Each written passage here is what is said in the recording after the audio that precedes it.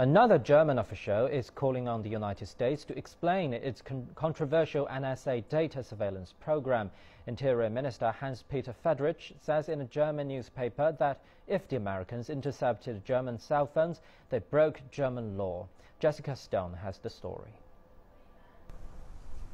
A wave of weekend accusations in the German press that the relationship between U.S. President Barack Obama and German Chancellor Angela Merkel may not be as friendly as the White House made it out to be. Der Spiegel reported the NSA selected Merkel's cell phone for surveillance as early as 2002.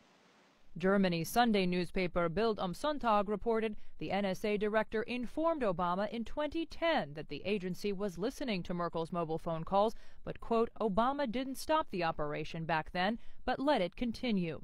The NSA released a statement Sunday saying the conversation never happened, and, quote, news reports claiming otherwise are not true.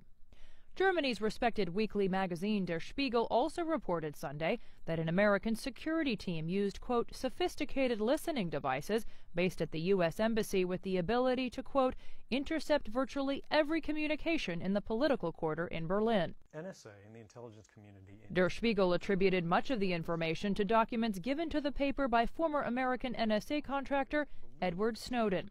In Germany, the interior minister has called for accountability, while German citizens are up in arms. On the one hand, it is outrageous, but it is also outrageous that it seems to have no serious consequences. That is the really frightening thing about it.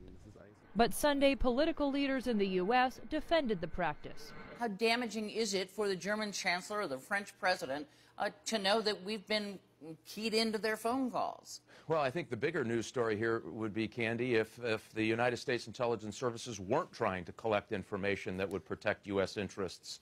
Uh, both home and abroad. I think the president should stop apologizing, stop being defensive. The reality is the NSA has saved thousands of lives, not just in the United States, but also in France and Germany and throughout Europe. Chancellor Merkel has reportedly been furious over reports that the U.S. has been eavesdropping on calls she's been making on her cell phone. She's calling for a no spy agreement with the United States and at least two of the nation's many intelligence services. Talks could begin on that as early as this week when the U.S. expects a delegation of German intelligence officials to arrive here in Washington, D.C. for talks. Jessica Stone, CCTV, Washington.